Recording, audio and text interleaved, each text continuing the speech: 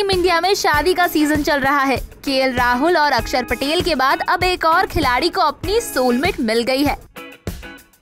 Allrounder Shardul Thakur 27 फरवरी को अपनी दोस्त मिताली पारुलकर के साथ सात फेरे लेकर जन्मों जन्मों के बंधन में बंध गए। शार्दुल और मिताली अपने वेडिंग लुक में एक दूसरे के साथ बेहद खूबसूरत दिखाई दे रहे हैं। शादी के जोड़े में सजी मिताली पारुलकर। किसी बॉलीवुड एक्ट्रेस से कम नहीं लग रही है। वहीं शार्दुल ठाकुर भी बेहद चार्मिंग नज़र आ रहे हैं। दोनों की शादी की फ़ोटो जमकर वायरल हो रही है। शार्दुल और मिताली की शादी बेहद शानदार रही। चलिए आपको बताते हैं शादी में क्या क्या खास रहा।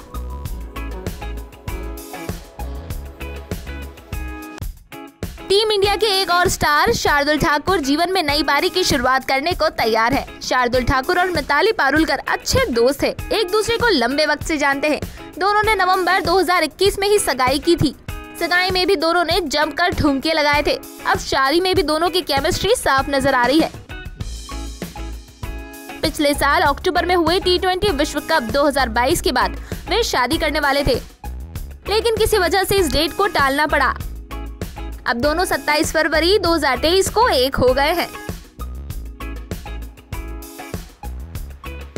शार्दुल ठाकुर की शादी की रस्मों की तस्वीरें और वीडियो सोशल मीडिया पर जमकर वायरल हो रहे हैं। हल्दी, मेहंदी, संगीत, सभी में कपल का यूनिक लुक दिखा है। अपनी शादी में शार्दुल भी जमकर नाचे हैं। उनका झिंगाट गाने पर डांस सोशल मीडिया पर खूब पसंद किया गया है। शार्दुल और मिताली की शादी में इंडियन क्रिकेट टीम के कई खिलाड़ी शामिल हुए। श्रेयस अय्यर, अभिषेक नायर, युजवेंद्र चहल, रोहित शर्मा और दूसरे कई क्रिकेटर नज़र आए। संगीत में श्रेयस अय्यर और अभिषेक नायर ने अपने दोस्त के लिए एक रोमांटिक बॉलीवुड गाना गाया, जिस पर कपल ने भी आई कैचिंग डांस किया। भारतीय क्रिकेट टीम के स्टार ऑलराउंडर शार्दुल ठाकुर को तो आप जानते ही है।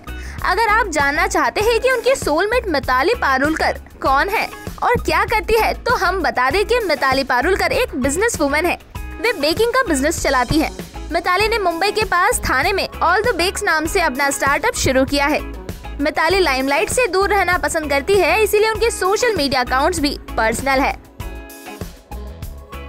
शार्दुल और मिताली की शादी में भले ही करीबी दोस्त और रिश्तेदार शामिल हुए हैं, पर रिपोर्ट्स के मुताबिक वे जल्द ही ग्रैंड रिसेप्शन पार्टी देने वाले हैं।